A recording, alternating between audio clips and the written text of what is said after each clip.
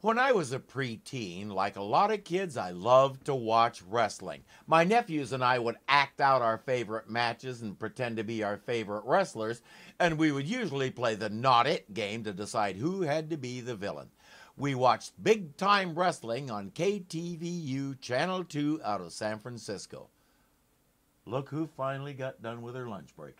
Good afternoon, ladies and gentlemen. Direct from Los Angeles, Big Time Wrestling is on the air. As I said, the wrestling we watched happened in San Francisco. There were two other operations called Big Time Wrestling in Detroit and Boston, not Los Angeles.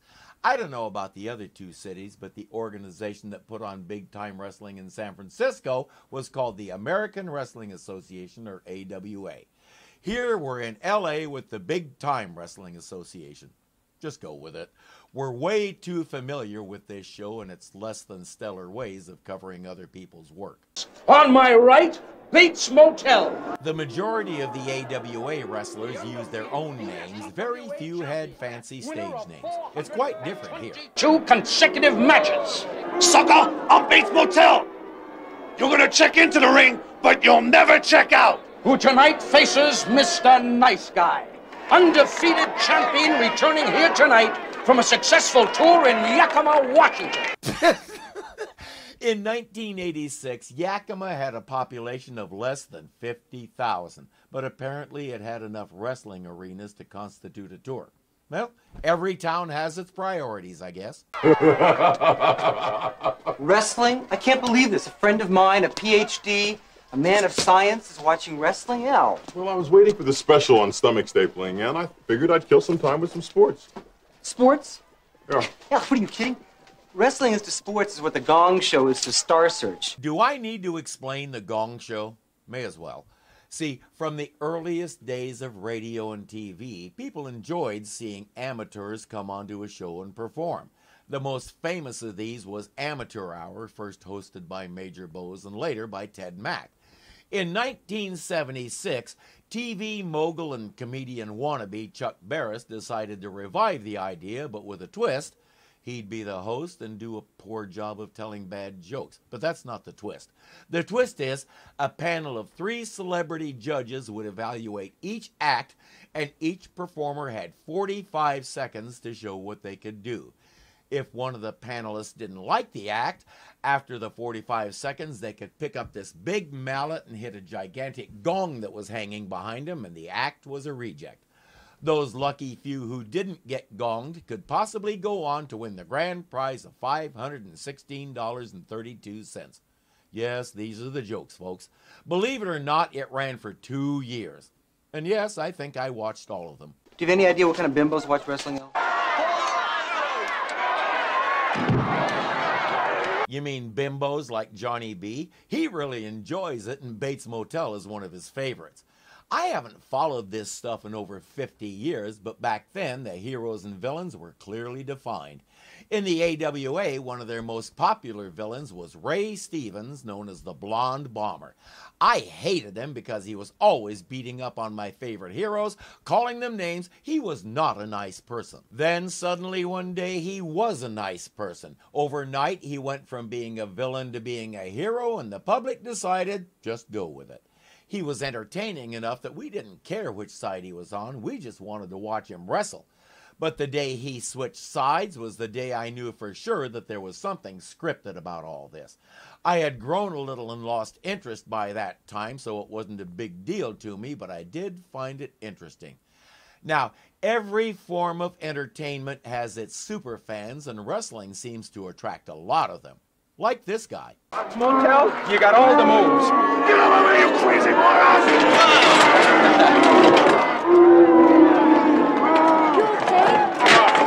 Sure. No vacancy on the champ. He's the motel man. How could they let him do that?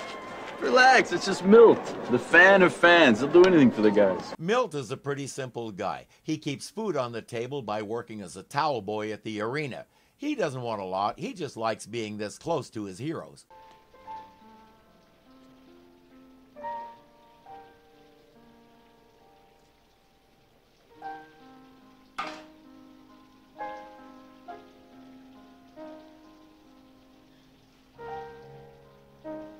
He also fantasizes about being one of them. He'll play around with the cape and mask and let his imagination soar for a bit. Help us! Somebody help us! Help!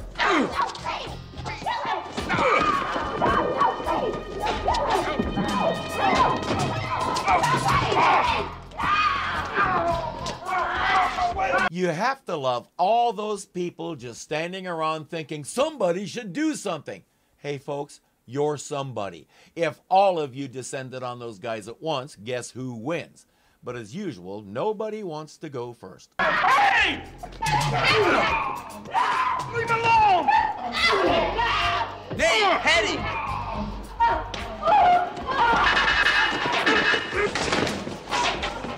He can't believe he tackled those guys and rescued his friends. Suddenly, he really is the hero. I foresee trouble. Oh. Hey, masked man! Who are you anyway? He's an angel. I'm, uh.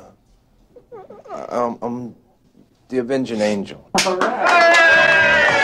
It took about 10 seconds for all this to go to his head. Now he has an ad in the paper. Need a crime fighter? He's your man. No problem, too big or too small for the Avenging Angel.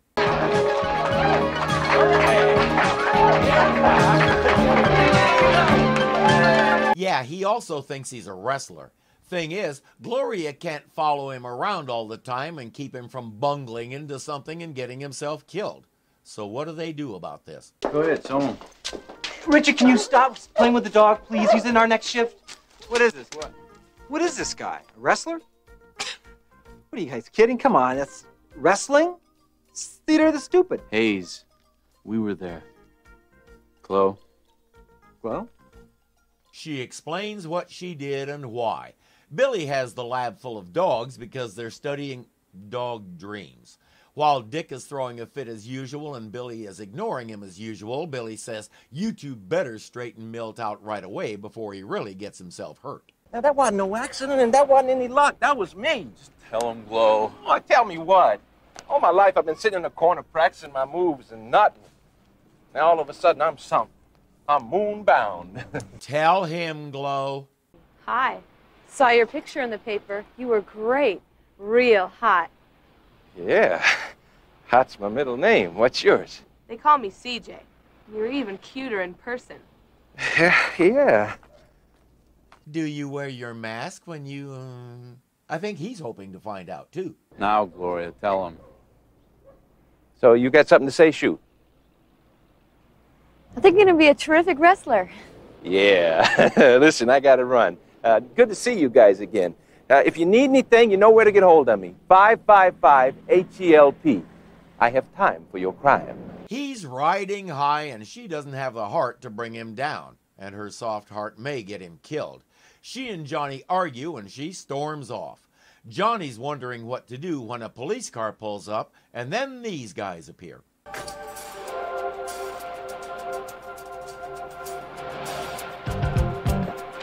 With a cop parked right across the street? That's Rick's. He's with us. Just a little handshake and the street is yours. Give me a minute, and then go remind the guy in the glass store that his dues are late. They're running a protection racket. Johnny watches one guy go over and slip some cash to the cop, whereupon the officer drives away. yeah, go be man. Hey, thanks a lot for the Gloria Patrol. I tried, Billy. Believe me. She wouldn't tell him. You got any more great ideas? B-man, you were my great idea. You used to be persuasive. She's still on a one-girl crusade to save Milt's big moment. It's noble. Not a great career move, but Yeah, well, it's gotten worse. I just spotted the two clowns that started the rough stuff down at the arena, getting chummy with one of the beat cops. Yes, they're the same guys who were beating up the old man at the arena, and they're going to encounter the same superhero. Lucky for the glass shop owner, Milt just happened to be picking up his costume from the dry cleaners.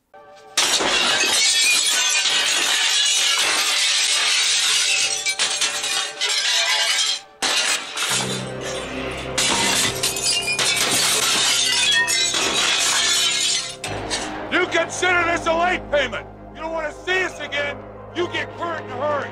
Said superhero will take them down again and the same way. Well, look who saved us the trouble of finding it.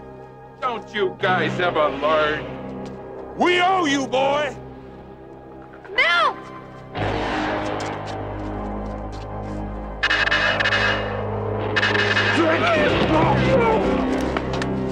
Which is to say, he has no idea how he did that. He must be a natural at this stuff. Oh, not again.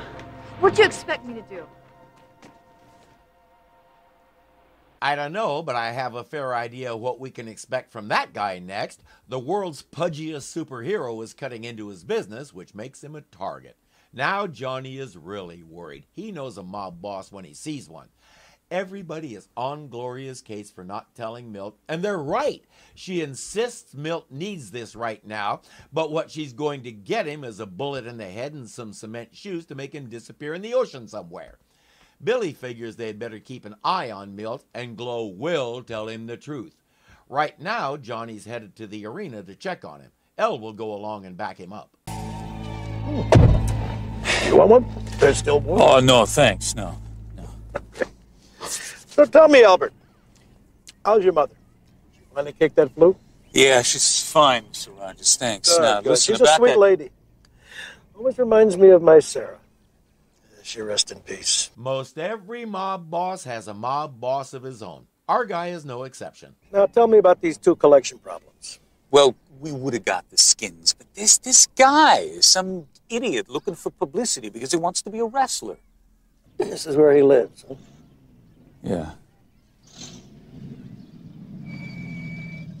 That girl was trouble at the glass store.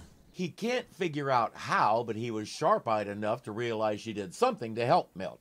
Mr. Rogers, yes, that's his name, says this guy needs to go. And do it in such a way that everybody who sees what's left of him knows it was me. Remind them that heroes don't live very long. Oh, it's you again. Come on in. Thought you might have wanted some help from the angel, but were too shy to ask. No, Milt, they're there to help you. Um, I'd like to talk to you about this uh, Avenger gig. Look, uh, if you're an agent, I think I'll pass. I got some uh, feelers out to some of the movers and shakers, and besides, I think I might take care of it myself. You see, uh, I got a call from Kovich at the arena. I got a match.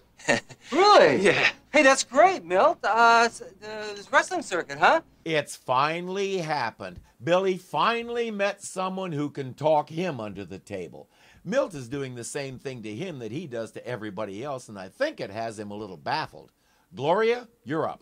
Milt. You didn't save Nate's life at the arena. And you didn't stop the guys at the glass door either. Yeah. Did you hear the one about the seven dwarfs? Milt, listen to her, okay? It's true. They explain about Gloria's power, but without a demonstration, he's not going to believe a word of it, and they won't get a chance to demonstrate. Uh, listen, I gotta run. Uh, there's some junkies uh, ripping off purses in Heritage Park. Hey, Milt, listen, man, don't, you can't go. You're gonna get yourself hurt. I, I don't know what's wrong with you guys, but uh, leave me alone. Huh? Stop the doorknob from turning, Gloria. That's an easy enough demonstration. They won't think of that. He's off to stop those junkies. I think Gloria is starting to realize that however noble her motives were, she blew this one. Johnny, please. Stay out of it. No, I can't. I want to know who you're paying. Don't ask questions. Look the other way everybody else does. It's safer. Everybody except for Milt. He was the first one that ever had guts enough to stand up to those guys. Twice. Shut up, Nate. Don't be a fool. No, I've had enough. It's about time somebody else. That's the cop Johnny saw taking payola, so nobody dares say any more. And once Johnny and El leave, he'll shake the old folks down and dare them ever to say a negative word again. Johnny wants to know more, so Elle will shrink down and sneak into the back room to hear the conversation. You don't even know who these bums are. I didn't mean anything, Rix. I, I was just letting off a little steam. Yeah. The only steam I want to see around here is in your bun warmer, old man. I'm sorry. Won't happen again. The age of instant information has shown the country just how many bullies become cops so they can throw their weight around legally. And local departments keep hiring them and have a hard time dumping them when they turn out to be bad. This kind of official corruption is what led to Wyatt Earp's famous vendetta ride. We'll have to talk about that someday. Angel, help! Hurry! Hurry over here! Come on! You've heard of angels in the outfield? Welcome to Angels in Their Underwear.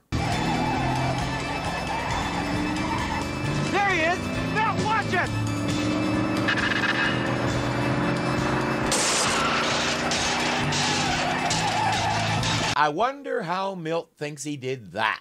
Let's go see if he's all right. Hold it and go turn around! Oh, great. If this is another one of those surveys, I mean, soliciting in a public place, I mean, I think that's really tough. Thank you. What the heck is he babbling about surveys? What kind of survey taker gives you an order like that? He really is an idiot. Albert clubs glow and that van takes them both away. Ladies and gentlemen, tonight's the match you have waited for. The crown prince of capital punishment, the headsman, meets a challenger most foul with a yellow streak a mile wide, the chicken man. Do I need to point out that he's dreaming again? It's filler and it's not all that funny. When you get the DVD set, watch it if you want to, or not. I choose not. They're in a movie theater. They're chained to a couple of seats, and Gloria's eyes are taped shut so she can't move anything. At the arena, Milt has learned that he's going to be wrestling Bates Motel, of all people. And even better, he's supposed to win. He can get behind that. Well, that about it? Almost. I better stop off and see the motel is properly motivated. Mr. Rogers wants the Angel's halo in pieces. What Milt doesn't realize is Bates Motel is reading a very different script. That one says the Avenging Angel doesn't survive this match. And without Gloria to protect him, there's a good chance that's exactly what'll happen. Don't get so tense. You and the lady can split as soon as your friend Milt gets his in the ring today. Let's keep in mind this is all happening because Gloria is just too nice. Now, she's a teenager with a complex past. The fact that she has this level of caring for someone else is a testimony to her character. Her fumbling ways of showing it are a testimony to her immaturity. Once she grows up a bit and tempers her compassion with wisdom, she's a force to be reckoned with, with or without her powers. They discover the backs of their seats are loose and should come off easily, so a few well placed kicks from Billy and Gloria can stand up. But she still can't see anything. Oh, look, just just stay just stay still, okay? I'll find you. Okay, look. Chloe, you uh, you smell pretty good. Billy, I'm underage, all right? All right, I mean, how bad could the rap be for statutory smell, huh? Just pull the tape off and don't get any ideas, Billy. Besides her age, she's way too classy for you.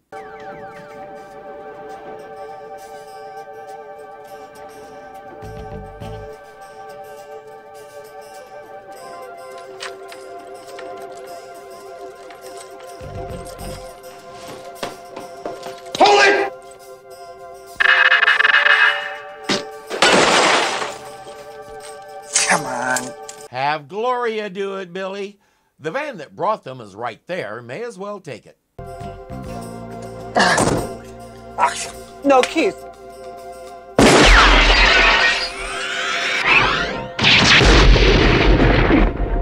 Gloria doesn't need keys, Billy. Let her take care of this. I get so tired of watching him try to prove he has a sufficient level of testosterone. They don't have time for him to figure out where his whatchamadingy is. They need to get to the arena before Milt gets himself killed.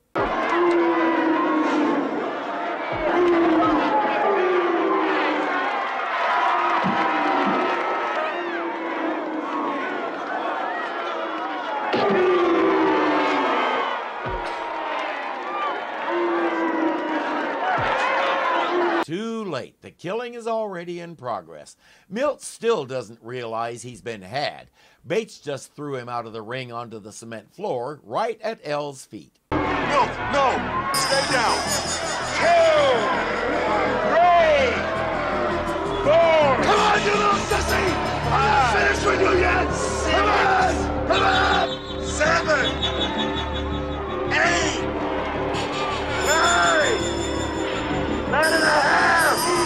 He's starting to put it together, but he's still taking the beating of his life. Ella's begging Milt to let him throw in the towel, but Milt refuses. Next thing we know, he's on the floor again. His fans are begging him to quit before he really gets hurt. Come on, stop it, referees! Nothing's gonna stop me. Hey, out of the way! As I said, he's putting it together.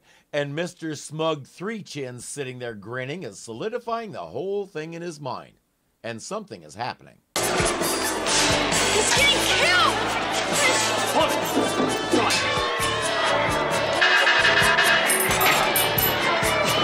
One corrupt cop down for the count. Now let's see about Milt.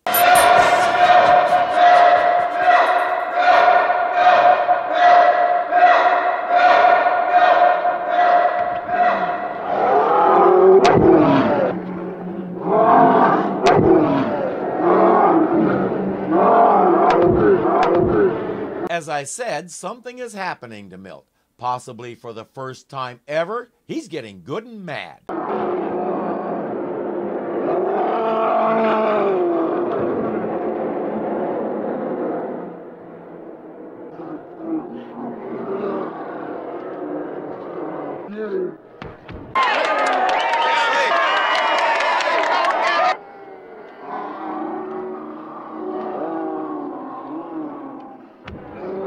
I get the Bates isn't used to being on the receiving end of all this.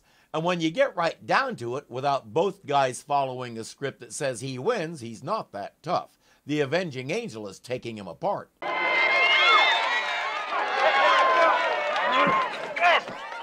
I got the room key right here!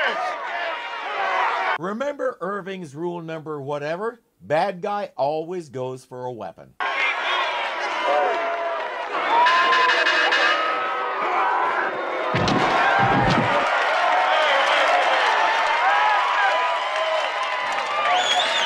Now do you believe her? With the playing field even again, he says, Thanks, I'll take it from here.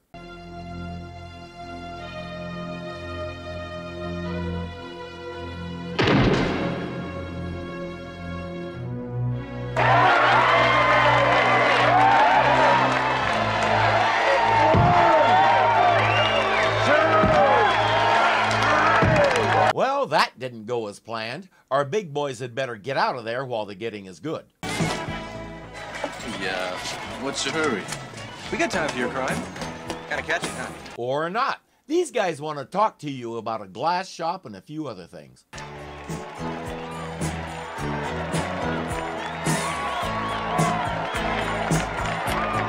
Look, they brought them real cops. Yeah, Mr. Rogers is just gonna be a number in his new neighborhood. It's a nice, feel good story that was well done overall, so I can even forgive that. Milt is giving up crime fighting to wrestle full time. Now that he's helped root out some of the corruption, he should be able to have a decent career at it, at least for a while. Humanidyne is getting a thorough flea treatment, but the usual experiments continue, such as working with Mrs. Willis, the telepath. And Mr. Stetmeyer, there's a call from the fourth floor. Not the fourth floor. Yes, it is. The senior vice president is scratching. Yo, flea man. Oh, Mr. Stetmeyer? Mr. Stetmeyer! Mrs. Willis, is there a problem? Oh, my word, yes! I've got to stop him before he uses. Elevator number two. She appeared in a couple of episodes and she doesn't grasp that it might be polite to ask people if it's all right to read their minds. But then again, why should she? She already knows the answer.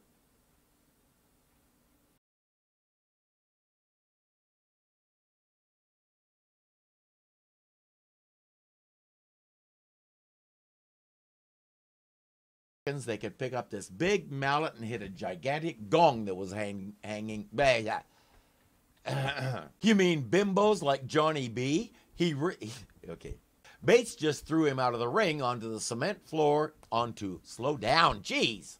Now that he's helped root out some of the corruption, he should. Uh, uh, okay. Me and my long sentences.